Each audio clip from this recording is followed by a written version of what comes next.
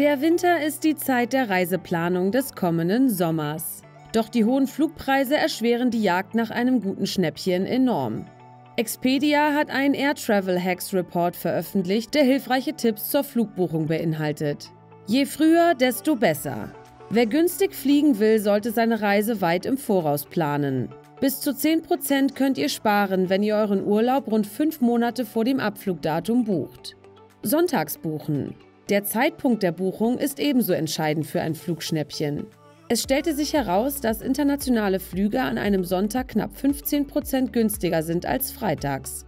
Freitags morgens fliegen. Auch der Tag und die Uhrzeit des Fluges selbst spielen beim Preis eine Rolle. So sind die Flüge, die freitags gehen, im Schnitt 40% günstiger als die Montagsflüge.